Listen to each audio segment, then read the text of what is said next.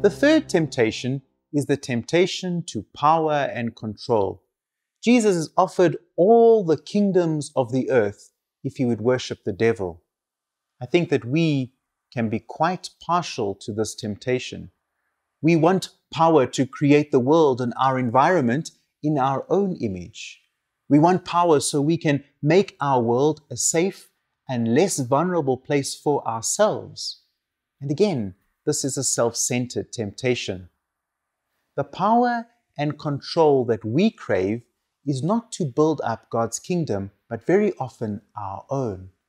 This desire for power and control is also our way of being independent of everyone. When we have power and control, then we have no need for anyone else, possibly not even God. And this is what Jesus is reacting against when he says that humankind should only worship and serve God.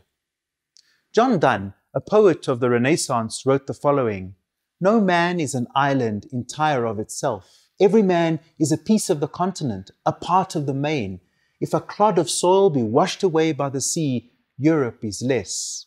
Any man's death diminishes me because I am involved in mankind.